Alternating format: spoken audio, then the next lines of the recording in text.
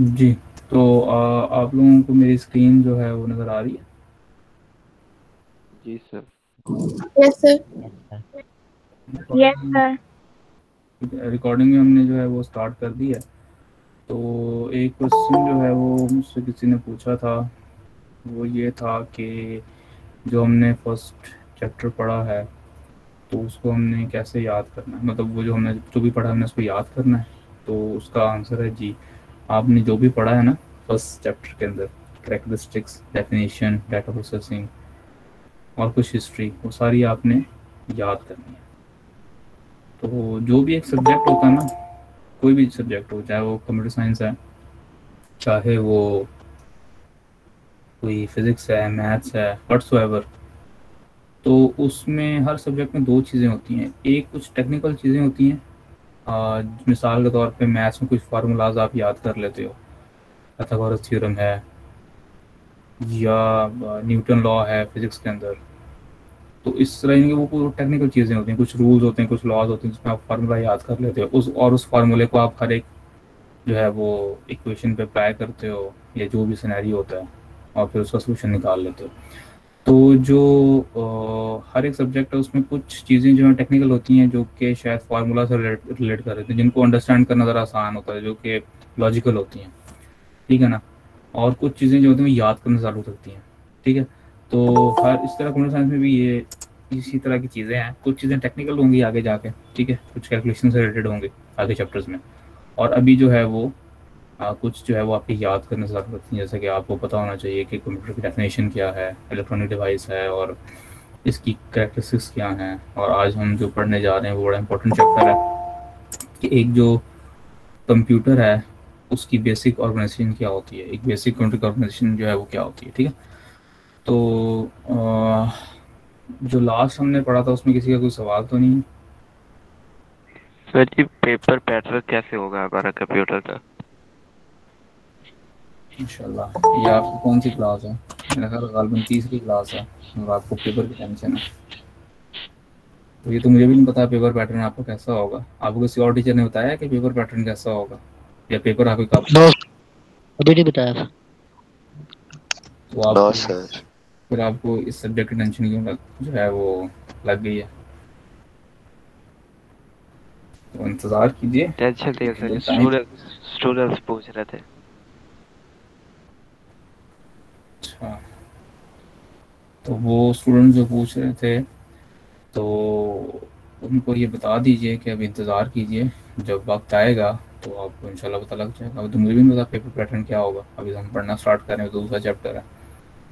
तो बस आप लोगों की कामयाबी का रास्ता है मतलब मुझे पता है बच्चों को जो है वो नंबर बहुत ज़्यादा अज़ीज़ होते हैं। शायद सबसे ज़्यादा आपके लिए जो आपके लिए जो इम्पोर्टेंट इम्पोर्टेंट की हामिल है या कह लें कि अहमियत की हामिल चीज़ है, वो आपके नंबर ही हैं। और उसको अच्छे नंबर लेने का तरीका भी मैंने आपको बताया था बस, यानी कि इससे पिछली क्लास में। वो ये कि आप रोज़ का काम रोज़ करते रहें, ठीक है? तो दैट विल बी एनफ और अगर कोई छुट्टी कर लेता है तो रिकॉर्डिंग जो है वो सुन ले। या जो है वो, यानी कि मिस ना करें, बस रोज़ का काम रोज़ करते रहें तो इंशाल्लाह आप कामयाब हो जाएँगे अच्छे नंबरों से। बहरहाल तो आज हम चैप्टर टू स्टार्ट करते हैं। ठीक है तो इस चैप्टर में हमने जो है वो बेसिक चीज़ें जो हैं, वो हमने पढ़नी है। तो चैप्टर में जो चीज़ें वो आपको बताएगा, वो ये है कि पहले नंबर पे बेसिक ऑपरेशंस यानी कि जितने भी टाइप के कंप्यूटर्स हैं, वो क्या बेसिक ऑपरेशन परफॉर्म करते हैं। तो उनके बारे में आपको बताएगा, ठीक है? और basic basic organization of computer system एक कंप्यूटर की बेसिक ऑर्गेनाइजेशन क्या होती है, ठीक है? कैसे चीज़ें ऑर्गेनाइज हुई होती हैं उसमें। इनपुट यूनिट क्या होता है, उसके फ़ंक्शंस क्या होते हैं आउटपुट यूनिट क्या होता है, उसके फ़ंक्शंस क्या होते हैं स्टोरेज यूनिट क्या होता है, उसके फ़ंक्शंस क्या होते हैं टाइप ऑफ़ स्टोरेज क्या होती हैं, जो हमारे पास कंप्यूटर सिस्टम में यूज़ होती हैं। ठीक है तो ये तमाम टॉपिक्स हैं जिनके बारे में हम इस चैप्टर में पढ़ रहे होंगे। तो इसमें यह है कि आप लोगों की क्लास है ना तो मॉर्निंग और इवनिंग इकट्ठी है। तो इसमें यह है कि कुछ बच्चे ऐसे होंगे कि जिन्होंने ये पहले पढ़ा होगा यानी कि जिन्होंने कंप्यूटर साइंस पहले पढ़ी होगी अपने बारह या चौदह साल की तालीम में ठीक है? और कुछ ऐसे होंगे जो फ़र्स्ट टाइम पढ़ रहे होंगे। तो इसमें बस ये चीज़ जो है वो एहतियात मतलब आपने करना है अगर अगर आपको किसी बच्चे को या किसी बच्ची को कुछ समझ नहीं आता तो वो पूछ लीजिएगा शर्माइएगा नहीं कि ये मैं क्वेश्चन पूछूँगा या पूछूँगी तो ये आ, मतलब क्या इम्पेक्ट होगा इसका या दूसरे क्या कहेंगे। आपने इस कोर्स में जो आपने पढ़ना है, वो अपने लिए पढ़ना है ज़्यादा से बात है। फिर आपने पेपर भी अपने खुद देना है तो इसलिए शर्माइएगा नहीं। कोई क्वेश्चन कोई सवाल हुआ करे तो वो पूछ लिया करें, ठीक है? खासतौर पर वो बच्चे जो कि फ़र्स्ट टाइम इसको पढ़ रहे हैं। तो हम चलते हैं। अच्छा और ये भी कुछ है। ए एल यू क्या होता है सी यू क्या होता है सी पी यू क्या होता है, और कंप्यूटर ठीक है? तो हमारे पास एक जो कंप्यूटर सिस्टम होता है, ठीक है? उसके पाँच बेसिक ऑपरेशन होते हैं, ठीक है? कितने होते हैं? फाइव फाइव हर हर टाइप का कंप्यूटर जो है, वो फाइव बेसिक ऑपरेशन परफॉर्म कर रहा होता है। ये जो आपके मोबाइल आपके हाथ में मोबाइल फ़ोन होते हैं सेल फ़ोन होते हैं, ये भी एक कंप्यूटर ही है, ठीक है? लैपटॉप्स हैं, वो भी कंप्यूटर है। डेस्कटॉप मशीन्स होती हैं, वो भी कंप्यूटर है। सुपर कंप्यूटर होते हैं वर्क स्टेशन होते हैं डिफरेंट टाइप्स होती हैं। तो जिस भी टाइप का कंप्यूटर है, वो पाँच किस्म के बेसिक ऑपरेशन परफॉर्म करता है। तो उनके नाम हम पढ़ लेते हैं, उसके बाद फिर हम उसको पढ़ लेंगे। तो सबसे पहला इनपुटिंग ठीक है?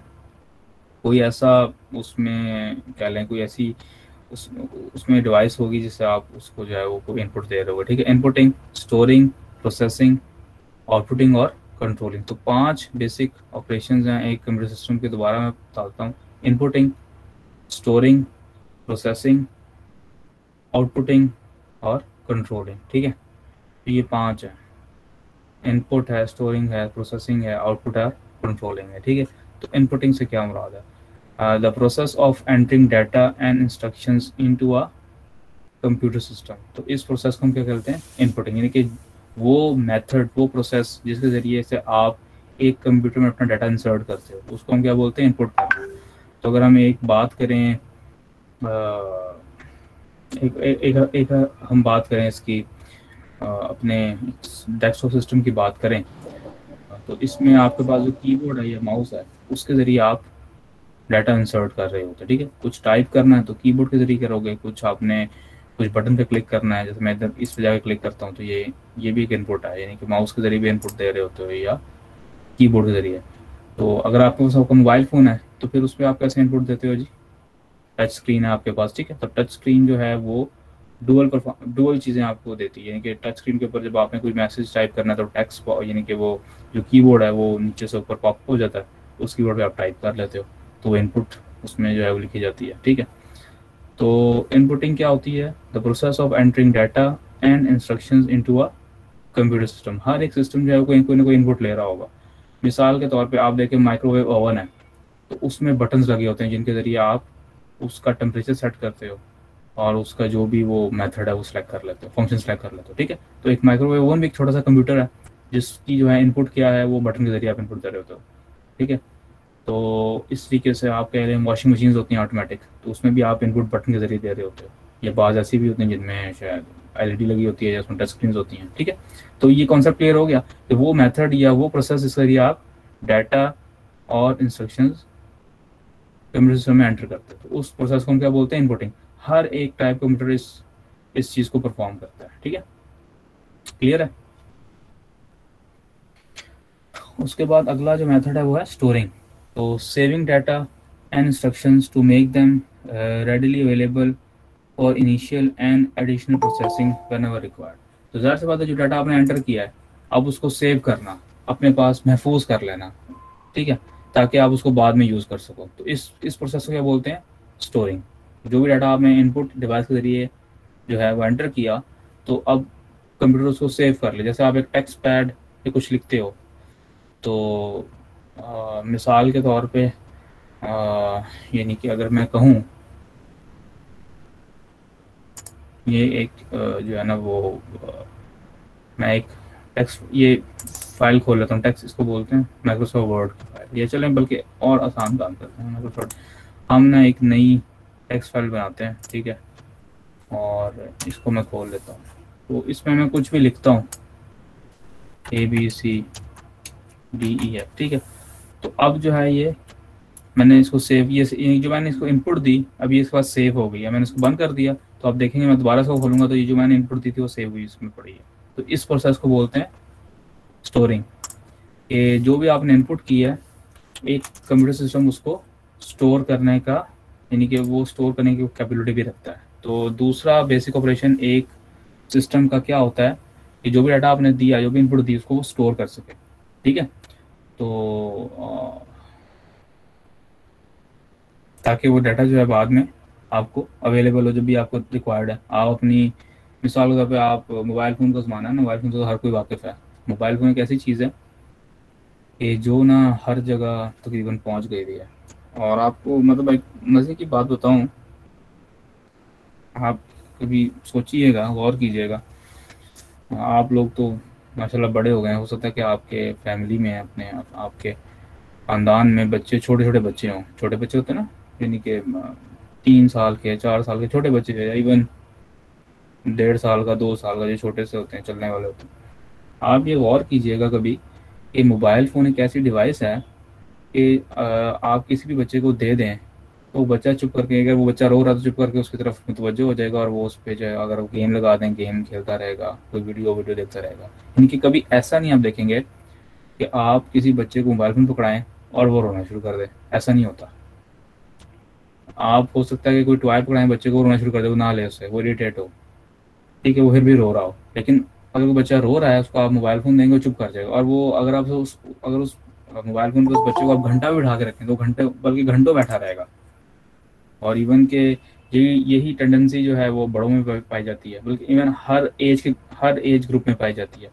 आप टीन एजर्स को पकड़ा दें तो मोबाइल फ़ोन पे लगे रहेंगे लगे रहेंगे, घंटे लगे रहेंगे, पता नहीं लगेगा। चाहे बूढ़ा हो, वो भी लगा रहेगा। उनके हाथ मोबाइल फ़ोन आ जाए यूज़ करना, आ जाए इंटरनेट हो व्हाट्सएप है फेसबुक है तो वो उस पर लगे हुए हैं तो लगे हुए हैं। तो आपने मतलब सोचने की बात यहाँ पे ये है कि मोबाइल फ़ोन क्या क्या डिवाइस है कि जो कि हर एक बंदे के लिए, चाहे वो छोटा बच्चा है, चाहे वो कोई नौजवान है, चाहे वो कोई निश्योर है, चाहे वो बूढ़ा है, जो भी है, वो एक मोबाइल फ़ोन एक ऐसी चीज़ है कि वो आपको कॉन्स्टेंटली जो है ना, वो इंगेज रखती है और वो आपको बोर नहीं होने देती, वो आपको वो आपको ना, वो आपकी कॉन्सेंट्रेशन जो है वो उसको खींचे रखती है, वो आपको बोर नहीं होने देती। तो ये एक सोचने की चीज़ है ना। तो आप ये सोचेंगे, जब ये मोबाइल फ़ोन डिज़ाइन किया गया होगा जो यानी कि जो उसके थिंक टैंक होंगे जब उन्होंने सोचा होगा हमारे मोबाइल फ़ोन होना चाहिए। तो कितने लोग इस पर बैठे होंगे, कितनी उन्होंने वर्किंग की होगी? यानी कि आप देखें ना, कितनी ऐसी चीज़ है जो कि आपके टाइम को किल करती है, या आप आप कंज्यूम करती है और आपको एहसास पास होता भी नहीं है। और सबसे मज़े की बात ये कि आप देखें, छोटे बच्चे हैं, उनके पास उनका तो इतना यानी कि कह हैं वो तो उनमें तो इतनी सोच की साइज़ नहीं ना होती। तो उनको तो फ़न चाहिए होता है। तो वो बच्चे भी जो हैं, कभी ऐसा आपने देखेंगे कि एक बच्चा छोटा है उसका मोबाइल फ़ोन पकड़ा दें और वो उसको वो वो उसको वो उसको ना ले। ऐसा नहीं होता। ठीक है ना? बहरहाल तो स्टोरिंग हम जो है वो पढ़ रहे थे। तो मैं कह रहा था कि स्टोरिंग में जैसे मिसाल अगर आप फ़ोटोज़ खींचते हो तो फ़ोटोज़ आपने जो है वो खींची कैमरे के ज़रिए इनपुट जो है वो पिक्चर खींची गई, वो इनपुट आपके पास आ गई और आपके ड्राइव में सेव हो जाती है। ठीक है? तो आपका जो आपका जो मोबाइल फ़ोन है वो भी स्टोरिंग का प्रोसेस जो है वो परफॉर्म करता है। ठीक है? स्टोरिंग बेसिकली क्या होता है कि आप डाटा और इंस्ट्रक्शन को सेव करो ताकि आप उसको बाद में यूज़ कर सको। तो बच्चे क्या करते हैं जी? फ़ोटो खींची, फिर उसके ऊपर डिफरेंट जो है फ़िल्टर अप्लाई किए और वो फिर जो है व्हाट्सएप पे जो है लगा दिया या वो जो है फेसबुक पर लगा दिया कुछ और कर लिया, जो भी। प्रोसेसिंग तो अगला काम क्या होता है? प्रोसेस करना। परफॉर्मिंग अर्थमेटिक ऑपरेशन ठीक है ना? एड सब्ट्रैक्ट मल्टीप्लाई डिवाइड तो अर्थमेटिक ऑपरेशन के बारे में हमने पहले भी पढ़ा था। हमने ये भी पढ़ा था कि भी कंप्यूटर एक ऐसी डिवाइस है जो कि अर्थमेटिक ऑपरेशन परफॉर्म करती है एट वेरी हाई स्पीड ठीक है? तो जहर से बात है, हम कंप्यूटर की बात कर रहे हैं तो प्रोसेसिंग का मतलब ये है कि एक कंप्यूटर जो है वो अर्थमेटिक ऑपरेशन को भी परफॉर्म कर सकता है, ठीक है? और लॉजिकल ऑपरेशन भी। लॉजिकल ऑपरेशन क्या होते हैं? कंपेरिजन जैसे equal to less than greater than equal to ठीक है? डबल इक्वल टू इस तरीके से, ठीक है? On data to convert them to into useful information तो प्रोसेसिंग क्या होती है? कि तीसरा जो बेसिक ऑपरेशन है, वो कौन सिस्टम का क्या है वो प्रोसेसिंग है। तो परफॉर्मिंग अर्थमेटिक ऑपरेशन या लॉजिकल और और लॉजिकल ऑपरेशन ठीक है? On data to convert them into useful information तो प्रोसेसिंग जो है, वो बेसिकली डाटा के ऊपर आप जो है, वो कोई अर्थमेटिक ऑपरेशन परफॉर्म करते हो, कोई लॉजिकल ऑपरेशन परफॉर्म करते हो, और उसको यूजफुल इंफॉर्मेशन में आप कन्वर्ट कर देते हो। तो इस प्रोसेस को हम क्या बोलते हैं? तो इस चीज़ को हम प्रोसेसिंग बोलते हैं, ठीक है? तो इनपुटिंग स्टोरिंग प्रोसेसिंग ठीक है? और देन आउटपुटिंग जहर से बात है जब आपने डाटा प्रोसेस कर लिया जो रिज़ल्ट आ गया उसको दिखा देना। तो उसको उसको आप दिखा दोगे तो उसको हम क्या बोलेंगे? आउटपुटिंग बोलेंगे। तो आपका अगर मोबाइल फ़ोन है तो वो आपने मिसाल के तौर पे ना एक फ़ोटो खींची। इनपुट हो गया आपके पास। अब आपने उसको फ़िल्टर अप्लाई किया। फ़िल्टर अप्लाई करना एक प्रोसेस है। वो प्रोसेस परफॉर्म होगा और जब वो फ़िल्टर अप्लाई हो जाएगा उसके ऊपर तो उसकी आउटपुट आप, आपको आपके मोबाइल फ़ोन की स्क्रीन के ऊपर ही मिल जाएगी। ठीक है? तो the process of producing useful information और result for the user such as a printed record और विजुअल डिस्प्ले ठीक है? तो आउटपुटिंग क्या होता है कि जो रिज़ल्ट आपके पास आ गए उनको डिस्प्ले कर देना और कंट्रोलिंग क्या होता है? कि directing the manner and sequence in which all of the अब ऑपरेशन आर परफॉर्म तो बेसिकली जो ऊपर वाले चार ऑपरेशन हैं इनपुटिंग स्टोरिंग प्रोसेसिंग आउटपुटिंग इन सबको कंट्रोल करना कि ये जो है वो एक सीक्वेंस में हो रहे हों इनमें कोई जो है वो आ, कोई वो ना हो। क्या कहते हैं? यानी कि आउट ऑफ़ सीक्वेंस में जाएँ या ये डिस्टर्बेड ना हो। तो इस इनकी तमाम चीज़ों के ऊपर कंट्रोल करना, ये भी जो है वो एक कंप्यूटर सिस्टम का जो है वो काम होता है। तो फाइव बेसिक ऑपरेशन होते हैं एक कंप्यूटर सिस्टम के। Inputting outputting sorry inputting storing processing outputting और कंट्रोलिंग कंट्रोलिंग मतलब होता है कि जो पिछले वाले ऑपरेशन आपने परफॉर्म किए हैं, चार, उनको कंट्रोल करना, उनको उनको एक सीक्वेंस में लेके चलना, ठीक है ना?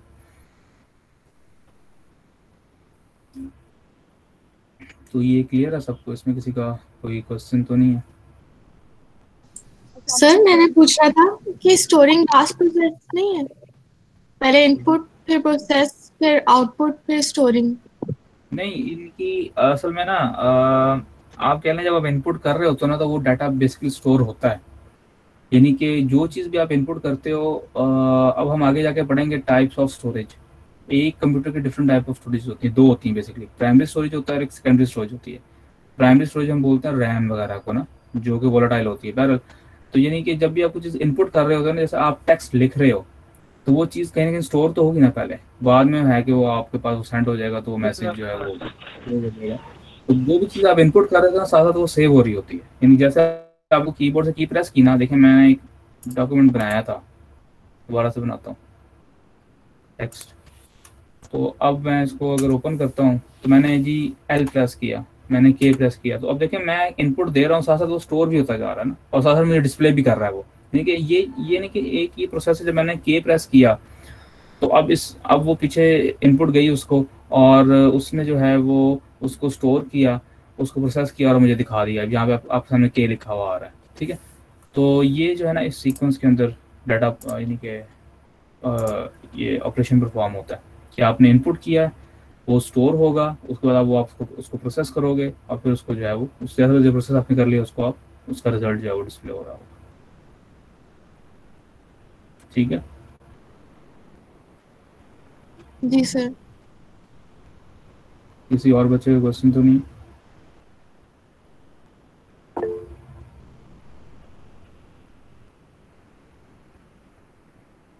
मुजम्मिल। अच्छा अच्छा अब हम ऐसा करते हैं, एक बज के ना छब्बीस मिनट हो रहे हैं। तो हम जो है ना, वो नमाज़ का ब्रेक कर, नमाज़ की ब्रेक करते हैं, वन ट्वेंटी सेवन हो गए और फिर हम जो है ना इन इनशाला वन फोर्टी फाइव पर दोबारा रिज्यूम करते हैं। या हम इवन जल्दी भी ऐसे रिज्यूम कर सकते हैं सबके पास वन फोर्टी फाइव पर हम जो है ना, रिज्यूम करते हैं। तो आप लोग भी नमाज़ जो है वो पढ़ लीजिए। तो आप लोग भी नमाज़ और फिर हम आते हैं तो आके फिर ये यहाँ फिर हम ये भी मीटिंग चल रही है ऑनलाइन, मैं खाली मैं अपने आप म्यूट कर रहा हूँ।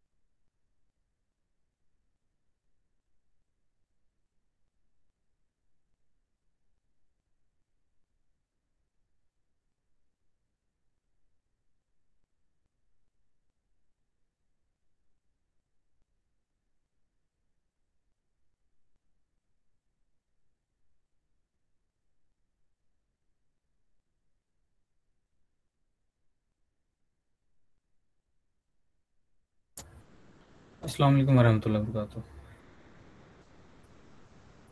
जी।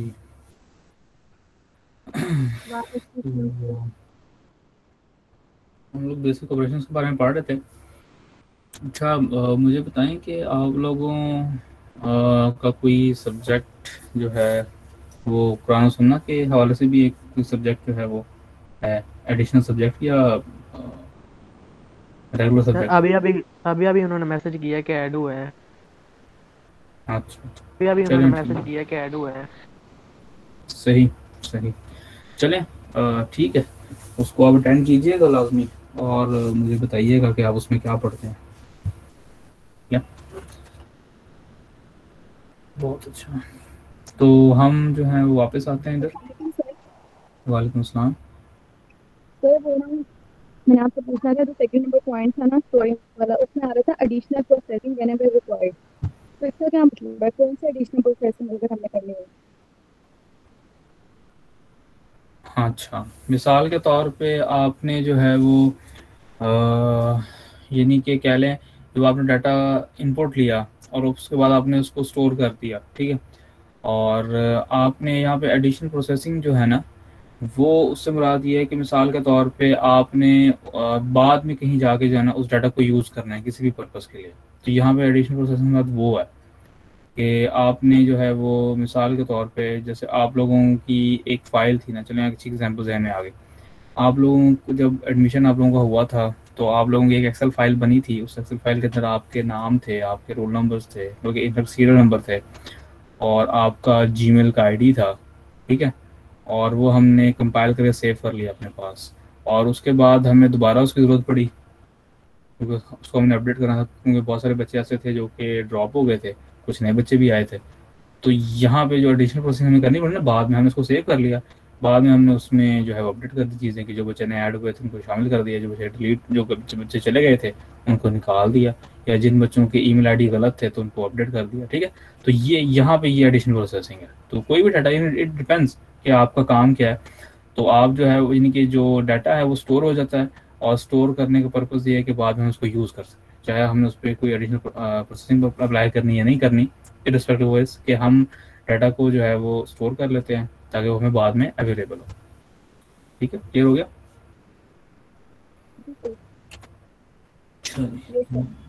हम आगे चलते हैं। अब वो आपको जो है ना डायग्राम से जो है ना कंप्यूटर की बेसिक ऑर्गेनाइजेशन जो है ना बताना चाह रहे हैं कि एक जो कंप्यूटर होता है, उसकी बेसिक ऑर्गेनाइजेशन जो है, वो क्या होती है? ठीक है? तो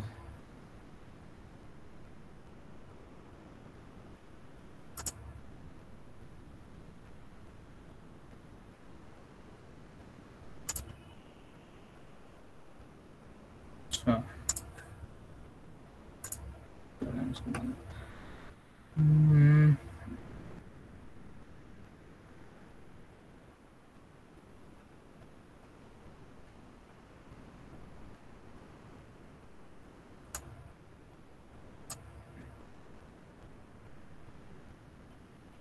हम्म, चलें ठीक है।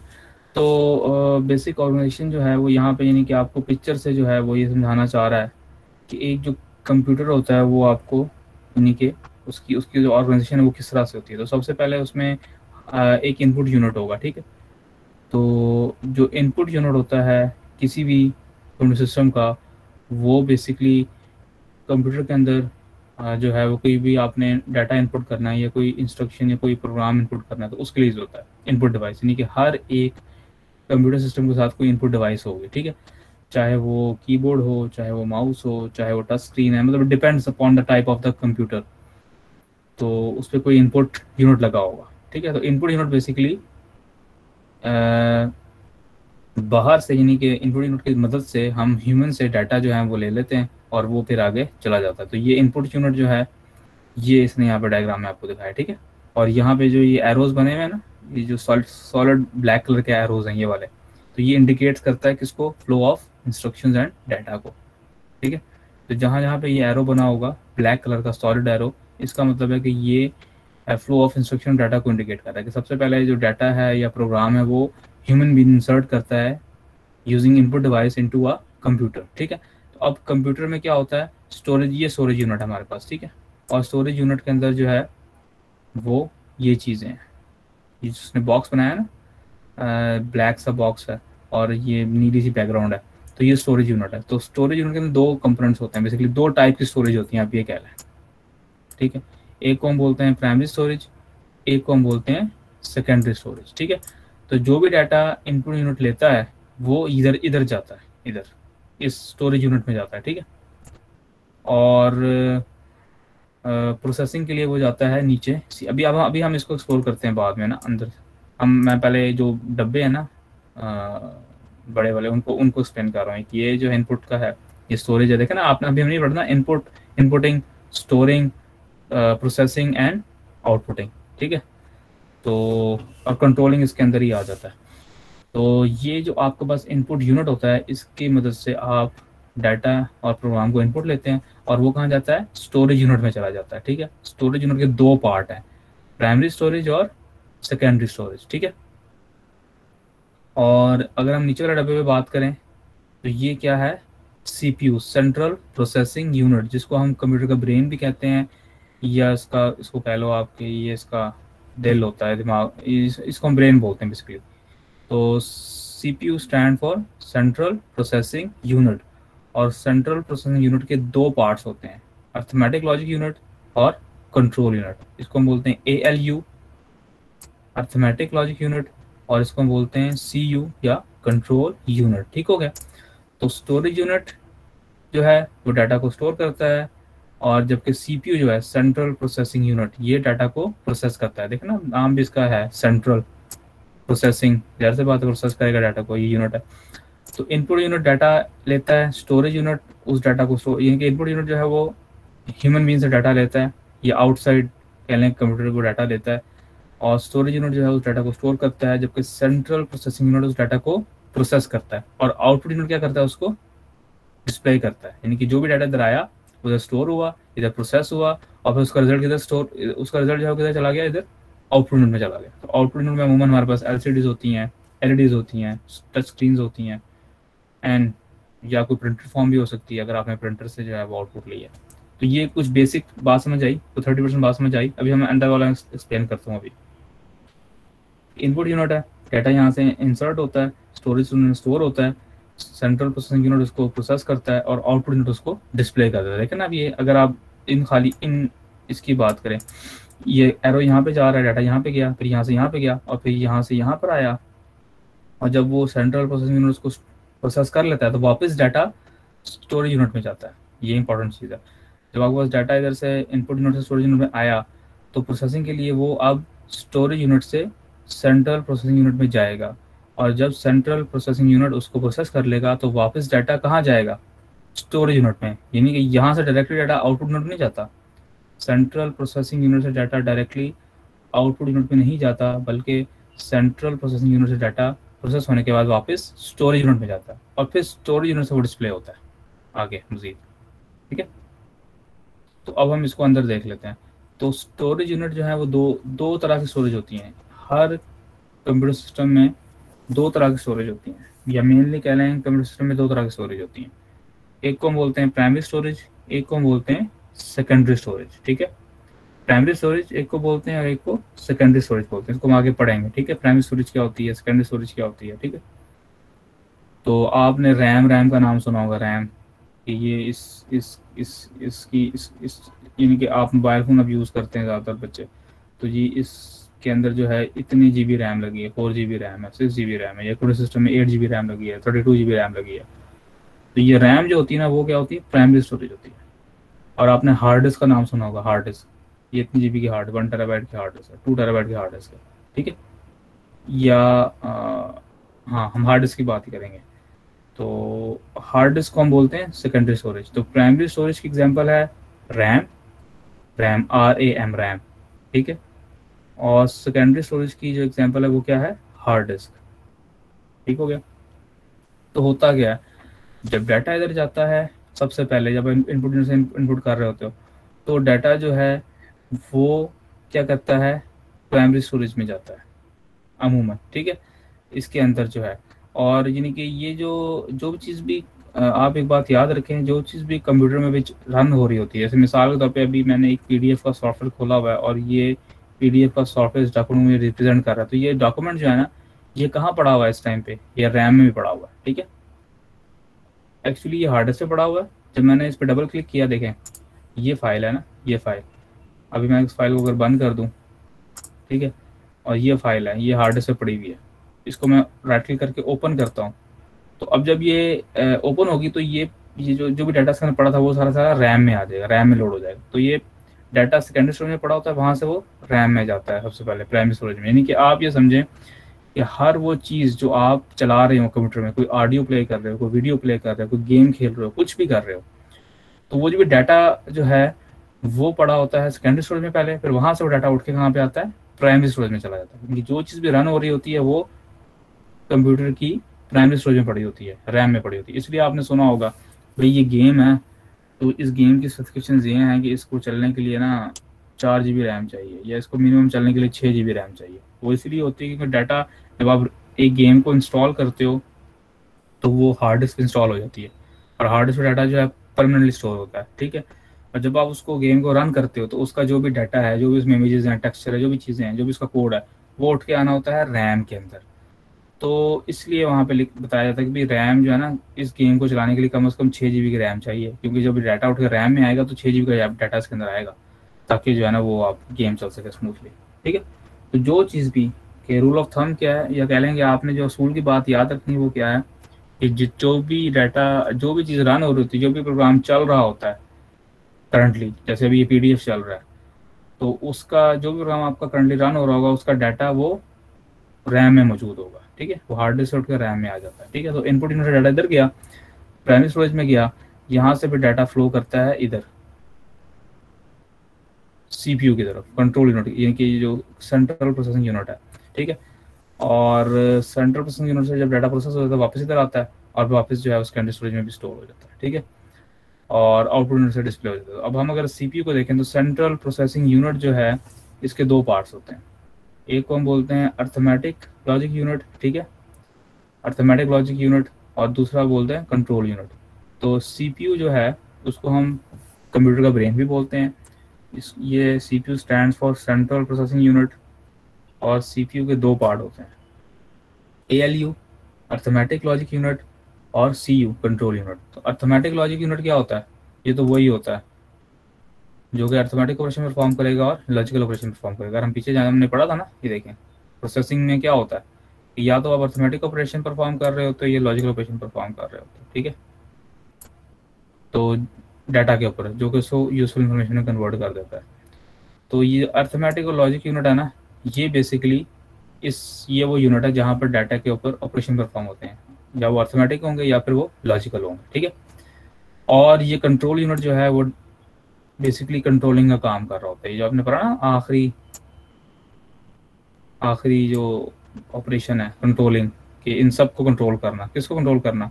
इनपुट यूनिट को स्टोरेज यूनिट को आउटपुट यूनिट को सीपीयू को, तमाम पूरे कंप्यूटर कंट्रोल कौन करता है? सी यू कंट्रोल यूनिट ठीक है? तो ये देखें, ये जो डॉटेड लाइंस है indicate the control exercise by the control unit तो ये जो डॉटेड लाइंस हैं, ये रिप्रेजेंट कर रही हैं कि कंट्रोल यूनिट जो है, वो इनपुट यूनिट को भी कंट्रोल कर रहा है, वो आपकी प्राइमरी स्टोरेज को भी कंट्रोल कर रहा है, वो आपके आउटपुट यूनिट को भी कंट्रोल कर रहा है, वो आपके अर्थमेटिक एंड लॉजिक यूनिट को भी कंट्रोल कर रहा है। तो सीपीयू के दो फ़ंक्शन होते हैं। एक ये कि उसने अर्थमेटिक और लॉजिक ऑपरेशन परफॉर्म करना है, दूसरा उसने कंट्रोल करना है, तमाम सिस्टम को। किसको कंट्रोल करना है? Input unit input unit control करना है प्राइमरी स्टोरेज को कंट्रोल करना है और आउटपुट यूनिट को कंट्रोल करना है, ठीक है? देखिए कंट्रोल यूनिट जो है वो सेकेंडरी स्टोरेज कंट्रोल नहीं कर रहा। ये लाइन सिर्फ़ यहाँ तक जा रही है, यहाँ तक नहीं जा रही। तो कंट्रोल यूनिट खाली प्राइमरी स्टोरेज कंट्रोल करता है सेकेंडरी स्टोरेज को कंट्रोल नहीं करता। ठीक हो गया? तो अब अगर हम फ्लो देखें डाटा का तो ऐसा है कि इनपुट यूनिट से डाटा जो है वो इधर स्टोरेज में आता है। स्टोरेज से डाटा जो है वो प्राइमरी स्टोरेज से डाटा इधर जाता है कंट्रोल यानी कि इस सीपीयू के अंदर चला गया, ठीक है? और यहाँ पे वो यहाँ पे प्रोसेस होता है। ठीक है? उसके बाद यहाँ पे प्रोसेस होने के बाद वापस प्राइमरी स्टोरेज में जाता है। और फिर अगर आपने इसको सेव कर दिया तो वो सेकेंड स्टोरेज में चला जाएगा और फिर इसी यूनिट से डाटा जो है वो आउटपुट यूनिट में चला जाता है, ठीक है? यानी कि डिस्प्ले डिस्प्ले हो जाता है। और control unit arithmetic logic unit को इनपुट यूनिट को स्टोरेज यूनिट यानी कि प्राइमरी स्टोरेज को और आउटपुट यूनिट को कंट्रोल कर रहा होता है। तो बात समझ आ गई? ये पिक्चर क्लियर है? इस पिक्चर को आप ज़रा एक मिनट के लिए देखें गौर से, ताकि आपको ये याद भी हो जाए।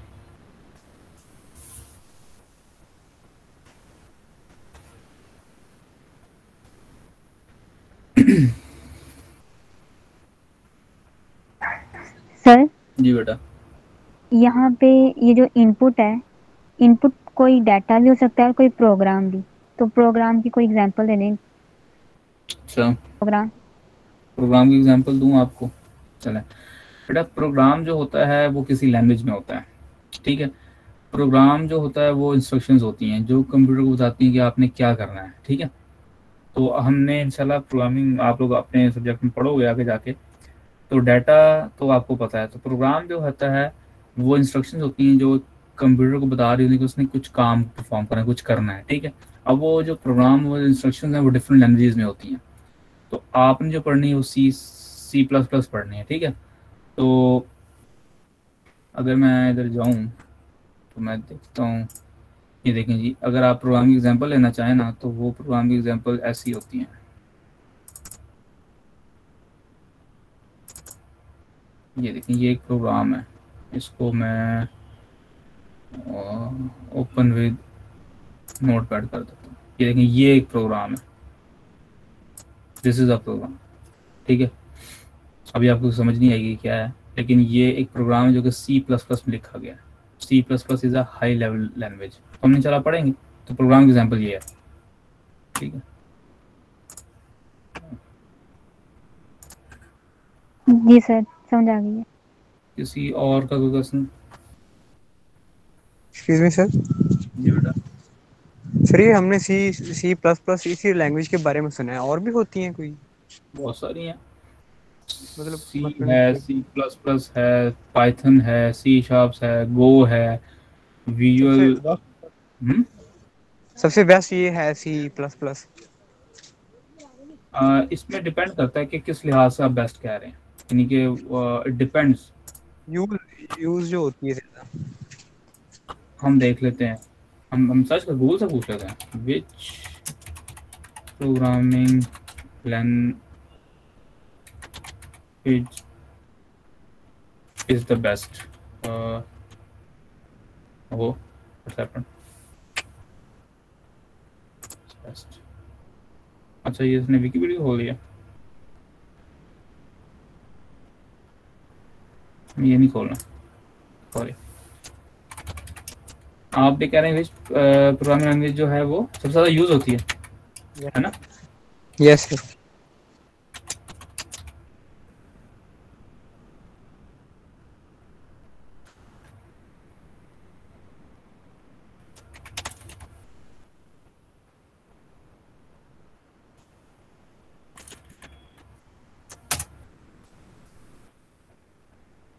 ये देखें ये रैंकिंग आपके पास आ गई है। ये जो नॉर्थ ईस्टर्न ईडीयू या कोई यूनिवर्सिटी जो है वो लगती है। और 2020 में जो है ना प्रोग्रामिंग लैंग्वेजेस वो ये थी टॉप की पाइथन पाइथन वाला यूज़ होती है, इसकी इसकी वजह ये है कि इसकी जो है ना मशीन लर्निंग जो है ना, आजकल वो एक कह लें, एक हॉट टॉपिक है ट्रेंड है। मशीन लर्निंग पाइथन के अंदर होती है। ठीक है machine learning is sort of A I कह लें। यानी कि आप कह लें कि हमने कंप्यूटर को ऐसा ट्रेन करना है कि वो एक इंटेलिजेंट चीज़ बन जाएगा वो एक कंप्यूटर की तरह बिहेव करेगा। आपने कोई गेम्स खेलता है? गेम्स खेलता है? किसने यस सर खेलते हैं मोबाइल मोबाइल वाले नहीं नहीं मोबाइल वाले गेम्स की बात नहीं कर रहा। मतलब जो जो पी एस फोर पे होती हैं या जो आपके पास कंप्यूटर सिस्टम्स में होती हैं। जी सर। GTA sir. हम्म? कौन सी क्या? जीटीए होती थी कंप्यूटर में। जी टी ए होती थी जी टी होती भी है। जी टी ए किसने बनाई है पता नहीं पता सर। Rockstar game sir. हाँ जी रॉकस्टार रॉकस्टार गेम्स जो है ना अ, ये नहीं कि बताना मैं ये चाह रहा हूँ कि जो एआई होती है ना मिसाल के तौर पे चलें पबजी की बात ही कर लें आप लोग पबजी खेलते हैं। तो पबजी में जो आपका एनिमी है, वो आपको प्रॉपरली शूट कर रहा हो आपकी पोजीशंस को देख रहा हो उसके मुताबिक, जो जो आप काम कर रहे हो, उसके अगेंस्ट जो है ना, वो काम कर रहा हो, यानी कि एक इंटेलिजेंटली परफॉर्म करे। यानी कि जैसे दो प्लेयर आपस में खेलते हैं ना तो वो इंटेलिजेंटली देख रहे होते हैं अच्छा ये बंदा कहाँ छुपा होगा, मुझे कहाँ से फायरिंग करनी चाहिए, क्या करना चाहिए? तो वो तमाम डिसीज़न जो है, वो एक कंप्यूटर भी ले सके, यानी कंप्यूटर इस कैपेबल हो। तो ये जो एआई है ना, यानी कि मशीन लर्निंग वो इससे रिलेटेड है। बहरहाल तो पाइथन है यूज़ होती है जावा ये भी एक लैंग्वेज है। जावा है, फिर सी शार्प है, फिर ये है C plus plus number of jobs इतनी है. अब ये बस ने पता नहीं, इसने जो है ना इसने आपको top ten most popular programming languages उठा के दी हैं. तो ये पॉपुलर हैं. ये यूज़ नहीं है पॉपुलर हैं. यानी कि जो कि बहुत ज़्यादा पॉपुलर हैं मशहूर हैं कह लें ठीक है? तो बेस्ट प्रोग्रामिंग लैंग्वेजेस वो ये हैं. ये पता नहीं क्या है. मोस्ट पॉपुलर वेबसाइट वेबसाइट्स तो खैर सब नहीं, बड़ा एक क्वेश्चन है जेनेरिक सा। अच्छा देखें ना विच टू लर्न जावास्क्रिप्ट बताया हुआ, देखें, अब डिफरेंट है ना, अगर आपने फ्रंट एंड वेब डेवलपमेंट करनी है तो उसमें ये लैंग्वेजेस हैं बैक एंड में ये हैं मोबाइल में ये हैं सिस्टम प्रोग्रामिंग में ये हैं डेस्कटॉप एप्लीकेशंस में ये हैं। गेम डेवलपमेंट में ये है तो डिफरेंट मतलब एक बड़ा जो है ना वो है। आ, अगर मैं आपको बात करूँ ना मैं आपको बताता हूँ।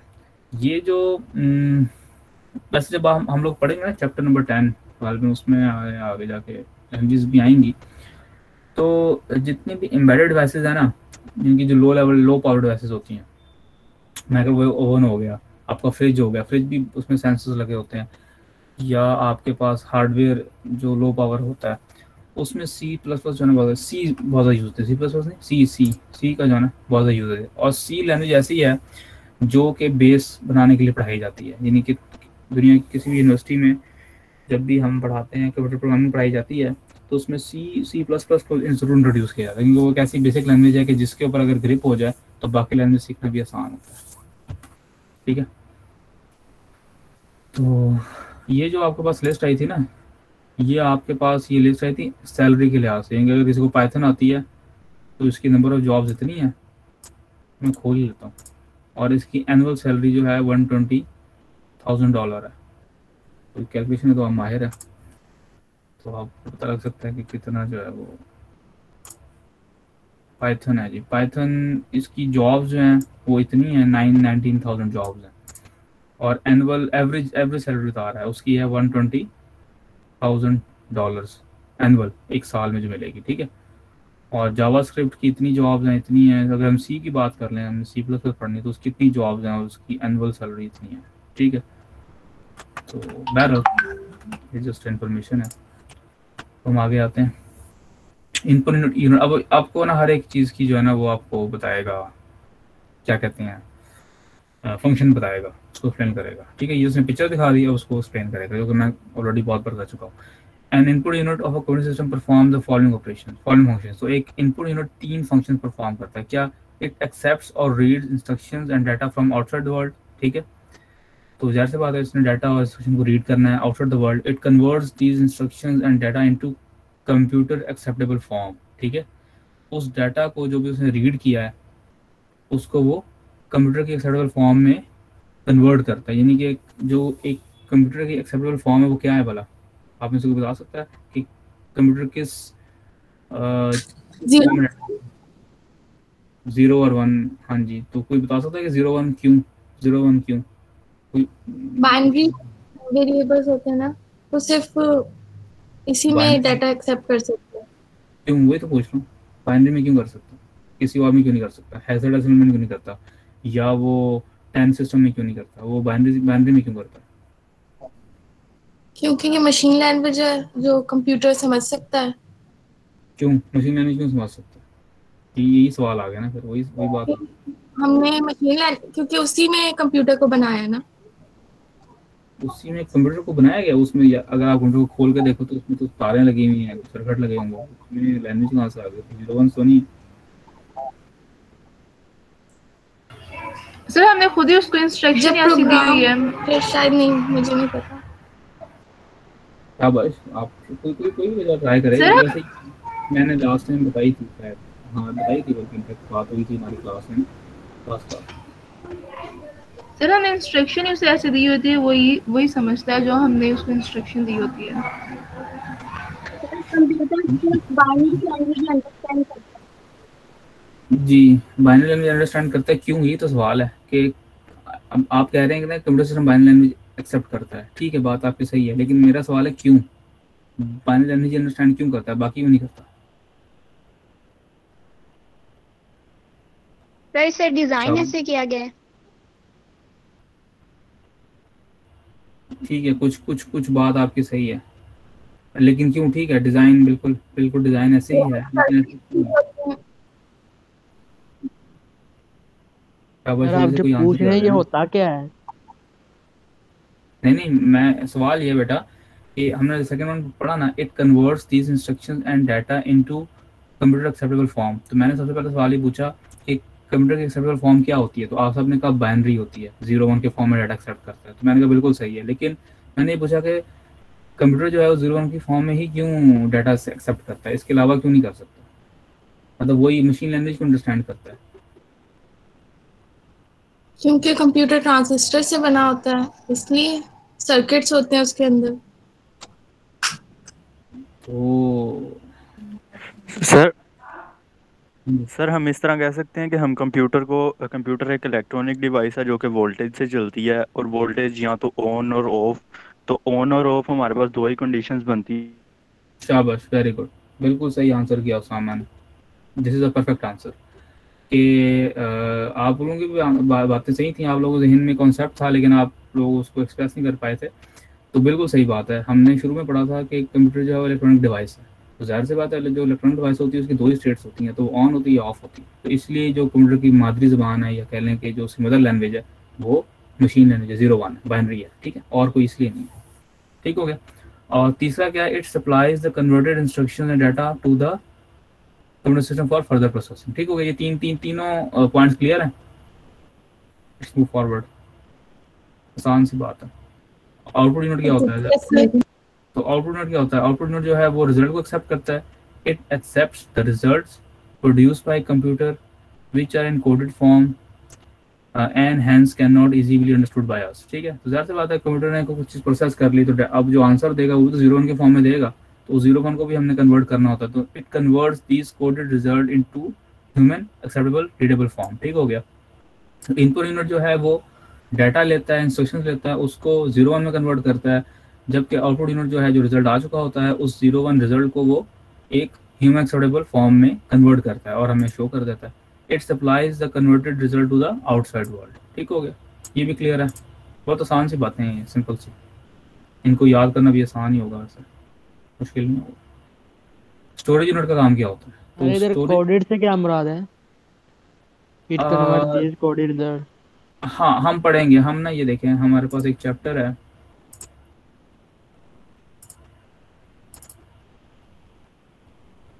चौथा चैप्टर कंप्यूटर कोड्स तो इसमें हम पढ़ेंगे कोडेड क्या होता है? बीसीडी कोडिंग स्कीम होती है एप्सिडिक होती है आस्की होती है डिफरेंट कोडिंग स्कीम्स होती हैं। इसको हम इधर पढ़ेंगे ठीक है? तो तब तब के लिए जो आप तब फिर आपको इसका आंसर पता लगेगा ठीक है? ओके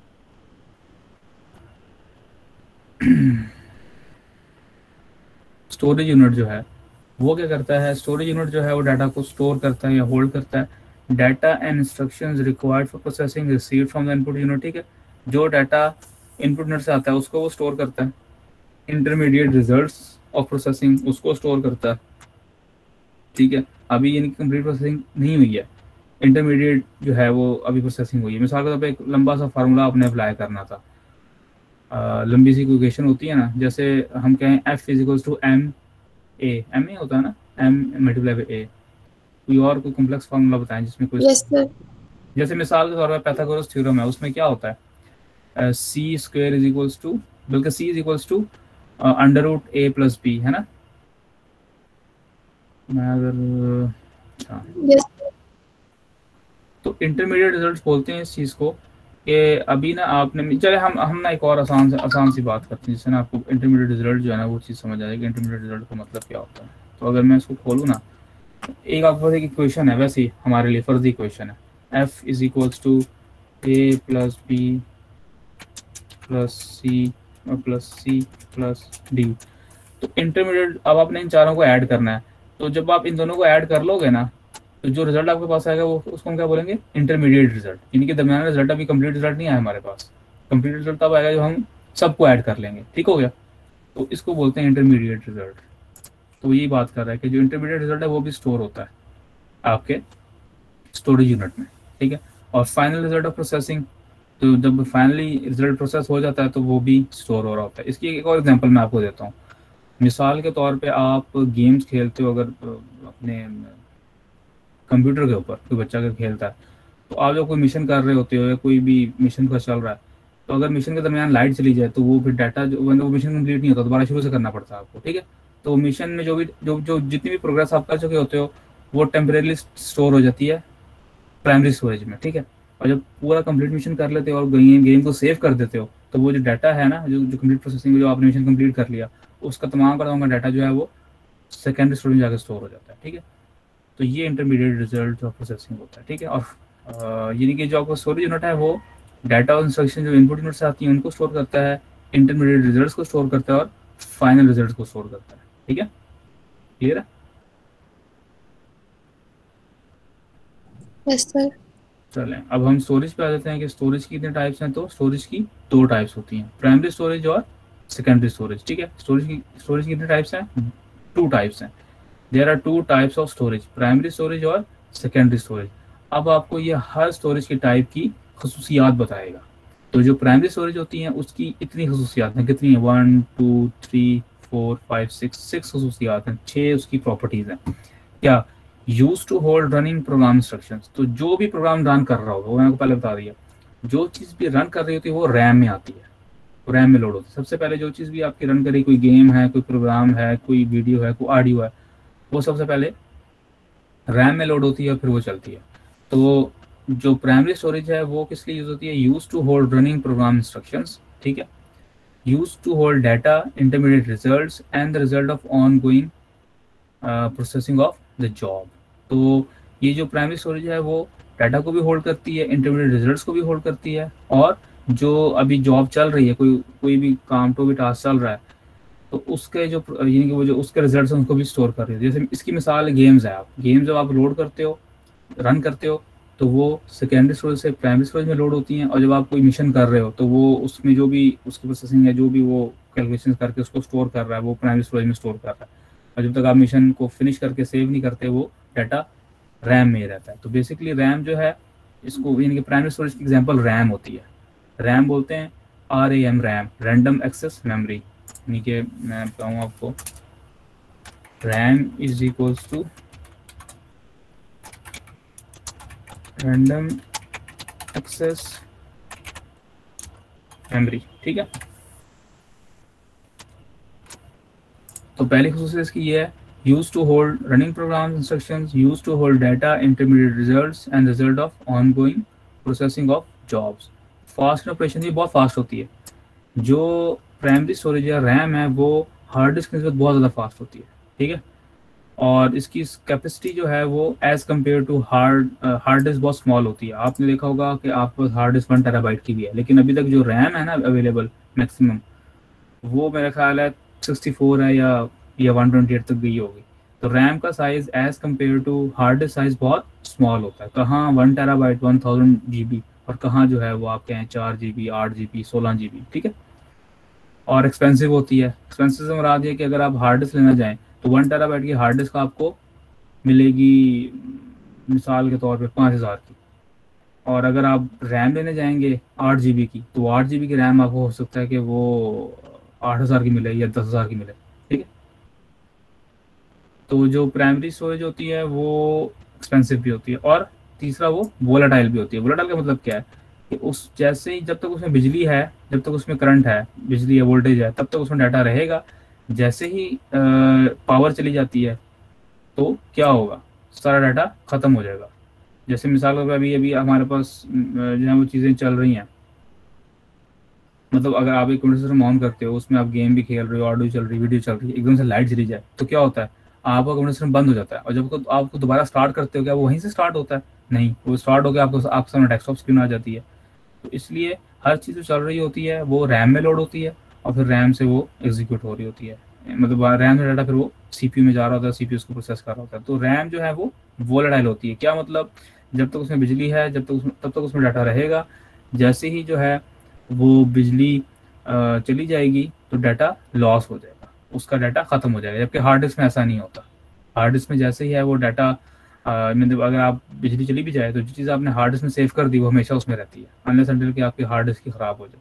ठीक है? तो ये इसके कुछ पॉइंट्स हैं प्राइमरी स्टोरेज के। ठीक है? फास्ट इन ऑपरेशन होती है, और एक्सपेंसिव भी है वोलाटाइल भी है। तो हम अगर बात करें कि हम ये सर्च करते हैं how many times how many times RAM is faster than hard disk hard disk जो है वो सेकेंडरी स्टोरेज है ना तो the main advantage RAM is the speed highest on the graph. The speed of the RAM is is compared to hard disk typically 50 times faster for the sequential reads and write up to 200 times faster for small copies. अच्छा ये ये 50 times typically faster होती है यानी कि 50 गुना ज़्यादा data तेज़ी से जो है वो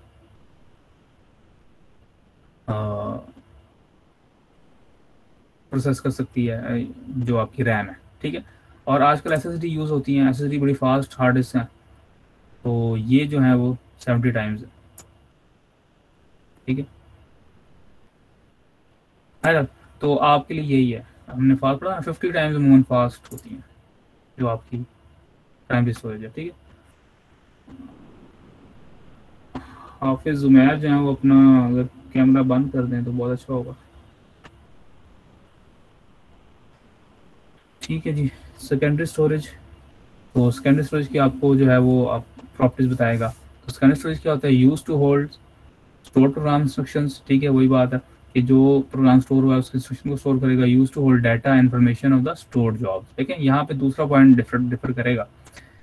Use to hold running program instructions और जबकि इसने इधर क्या कहा था? Use to hold store program instruction जो प्रोग्राम स्टोर हुआ हुआ है, उसके इंस्ट्रक्शन को सेकेंडरी स्टोरेज स्टोर करती है। जो जो प्रोग्राम रन हो रहा है, उसके इंस्ट्रक्शन को प्राइमरी स्टोरेज होल्ड कर रही होती है। और जबकि यहाँ पर use to hold data information of the stored job जो जो जो जो भी जॉब है, जो भी टास्क है, जो स्टोर हुआ हुआ है, उसकी, उसके डाटा और इन्फॉर्मेशन को स्टोर कर रही होती है, ठीक है? जो भी रनिंग चीज़ है, वो आपकी रैम में होती है, वो आपकी प्राइमरी स्टोरेज में होती है, ठीक है? और सिंपल सी बात है स्लोअर होती है प्राइमरी स्टोरेज से, इसकी कैपेसिटी जो है वो लार्ज होती है as compare to primary storage और ज़्यादा से ज़्यादा चीपर भी होती है इसकी नस्बत और डाटा जो है वो हमेशा के लिए रिटेन करती है, यानी कि नॉन वोलाटाइल होती है, ठीक है? यानी कि आपके लिए जो आपने यहाँ पे पढ़ी है ना, उसके उलट है तकरीबन यहाँ पे सारी चीज़ें। प्राइमरी स्टोरेज सेकेंडरी स्टोरेज में जो कंपैरिजन है वो यही है कि जो सेकेंडरी स्टोरेज है वो स्लो है प्राइमरी स्टोरेज फास्ट है, जो कैपेसिटी होती है सेकेंडरी स्टोरेज की वो ज़्यादा होती है और वो सस्ती भी होती है जबकि प्राइमरी स्टोरेज की कैपेसिटी कम होती है और वो महँगी भी होती है। और दूसरा एक और डिफरेंस जो मेजर वो क्या है कि सेकेंडरी स्टोरेज है वो नॉन वोलाटाइल होती है यानी कि डाटा उस पर परमानेंटली स्टोर हो जाता है। जब लाइट चली जाएगी तब भी उसमें स्टोर रहेगा ठीक है? और जो प्राइमरी स्टोरेज है उसमें डाटा तब तक स्टोर रहेगा जब तक लाइट आ रही है ठीक है? वो वोलाटाइल होती है। ठीक हो गया? तो यहाँ तक क्लियर है? हमने इनपुट यूनिट पढ़ लिया आउटपुट सर हमने स्टोरेज की टाइप्स पढ़ ली ठीक है? और अब हम, अब अब अब वो आपको सीपीयू के बारे में बताएगा कि सीपीयू क्या है। क्योंकि आखिरी चीज़ सीपीयू रह गई है ना। कि सीपीयू क्या है हमारे पास, ठीक है? तो अर्थमेटिक एंड लॉजिक यूनिट तो सीपीयू के दो पार्ट होते हैं। सीपीयू बोलते हैं सेंट्रल प्रोसेसिंग यूनिट को, ठीक है? तो सीपीयू का एक पार्ट क्या है? ALU arithmetic and logic unit of system is is the place where the actual execution of the instruction take place during the processing operation तो अर्थमेटिक और लॉजिक यूनिट वो यूनिट है जहाँ पर एक्चुअल प्रोसेसिंग परफॉर्म होती है जहाँ पर एक्चुअल इंस्ट्रक्शन जो है वो एग्जीक्यूट हो रही होती है चल चीज़ चल रही होती है ठीक है? तो ए एल यू और सी यू क्या होता है? C U control of a computer system is uh, manages and coordinates the operation of all the other components of तो ये वही पुरानी बात है कि जो कंट्रोल यूनिट है वो तमाम सिस्टम के ऑपरेशंस को कंट्रोल कर रहा होता है। इनपुट सिस्टम के प्राइमरी स्टोरेज को आउटपुट यूनिट को और ए को तमाम सिस्टम को कंट्रोल कौन कर रहा होता है? सी यू सी यू जो है वो सेंट्रल प्रोसेसिंग यूनिट का पार्ट है। और ए एल यू जो है वो भी सेंट्रल सी पी यू का पार्ट है। और ए एल यू जो है वो वो जगह होती है जहाँ पे एक्चुअल इंस्ट्रक्शन एग्जीक्यूट हो रही होती है प्रोसेस हो रही होती है। ठीक है? तो ये देखेंगे ये कुछ डायग्राम भी बना दिया आपके सामने कि जो सेंट्रल प्रोसेसिंग यूनिट है किसके इक्वल है? A L U plus C U इसको हम सेंट्रल प्रोसेसिंग यूनिट को हम क्या बोलते हैं? It is a brain of computer system ये कंप्यूटर सिस्टम का दिमाग है। It is responsible for controlling the operation of all other units of the computer system तो ये जो है बेसिकली ब्रेन है सीपीयू और ये रिस्पॉन्सिबल होता है कि तमाम कंप्यूटर ऑपरेशंस को और तमाम अदर जो कंप्यूटर के जो हैं, वो कह लें कि यूनिट्स हैं, उनको कंट्रोल करने के और उनके उनके ऑपरेशंस को कंट्रोल करने का रिस्पॉन्सिबल है, ठीक है? और ये आखिरी चीज़ जो है हमारे पास यहाँ पर इस चैप्टर की, वो क्या है? सिस्टम का कॉन्सेप्ट ठीक है? ये सिस्टम क्या है? हमने पढ़ा ना? कंप्यूटर सिस्टम तो एक सिस्टम की वो तारीफ़ करेगा। कंप्यूटर की तारीफ़ तो वो कर चुका पहले ना, पहले चैप्टर में। तो सिस्टम का कॉन्सेप्ट आपको बता रहे हैं। सिस्टम का मतलब क्या होता है? System has following three characteristics. तो तीन खसूसियात होती हैं एक सिस्टम में। तो अगर ये तीन खसूसियात किसी किसी सिस्टम में पाई जाएँगी तो हम उसको सिस्टम बोलेंगे। अदरवाइज़ उसको सिस्टम नहीं बोलेंगे। System has more than one element हमेशा सिस्टम में एक से ज़्यादा एलिमेंट होंगे, ठीक हो गया? हमेशा सिस्टम में एक से ज़्यादा एलिमेंट होंगे। All elements of system are logically related तमाम के तमाम सिस्टम के जो एलिमेंट्स हैं, वो लॉजिकली आपस में रिलेट कर रहे होंगे। जैसे कि उसने आपको इधर इधर बताया, ये जो आपके पास तस्वीर उसने आपको दिखाई, इसमें हमने देखा कि ये कंपोनेंट एक कंप्यूटर सिस्टम में कितने कंपोनेंट्स हैं? पाँच है ना? चार है बेसिकली इनपुट यूनिट है स्टोरेज यूनिट है सीपीयू है और आउटपुट यूनिट है। तो ये चार के चार जो कंपोनेंट्स हैं, वो आपस में लॉजिकली रिलेट कर रहे हैं। ये इस डायग्राम के थ्रू आपको बता रहा है वो कि डाटा कहाँ से कहाँ फ्लो करता है कंट्रोल कौन कर रहा है, ठीक है? तो वो इसने बात की यहाँ पर कि जो हमारे पास सिस्टम का कॉन्सेप्ट है कि एक सिस्टम में मोर देन वन एलिमेंट होते हैं, दूसरा कि तमाम एलिमेंट्स लॉजिकली रिलेट कर रहे होते हैं। और all the elements of a system are control in a manner to achieve a system को तो बेसिकली तमाम जो सिस्टम के एलिमेंट्स हैं उनको ऐसे कंट्रोल किया जाता है और उनको ऐसे एग्जीक्यूट किया जाता है इनको यानी कि उनको इस इस मैनर में कंट्रोल किया जाता है कि हम सिस्टम का गोल अचीव कर लें तो एक कंप्यूटर सिस्टम का गोल क्या होता है? सी बात है उसने आपका टास्क परफॉर्म करके देना है हाई स्पीड में परफॉर्म करके देना है। तो ये जो सी का कंट्रोल यूनिट है वो तमाम चीज़ों को कंट्रोल कर रहा होता है तमाम इनपुट यूनिट को आउटपुट यूनिट को और, और प्रोसेसिंग यूनिट को कि आपके आपका जो एंड गोल है वो अचीव हो जाए ठीक है? तो अब वो तारीफ़ करेगा कि कंप्यूटर सिस्टम क्या है। A computer system as it comprises of integrated components ठीक है? अब वो कहता है कंप्यूटर एक सिस्टम है पूरा, ठीक है? क्योंकि यहाँ पे हमारे पास जो है वो कंपोनेंट्स हैं जो कि आपस में इंटीग्रेटेड हैं। कौन कौन से कंपोनेंट्स हैं? इनपुट यूनिट है आउटपुट यूनिट है स्टोरेज यूनिट है और सीपीयू है। That work together to perform the steps called for in the executing program तो जो कि आपस में काम करते हैं और जो भी एक प्रोग्राम इंस्ट्रक्शन होते हैं उनको वो एग्जीक्यूट कर रहे होते हैं। ठीक हो गया? तो ये क्लियर है? हमारा चैप्टर नंबर टू जो है वो yes. आज खत्म हो गया ठीक है? खत्म हो गया खत्म हो गया।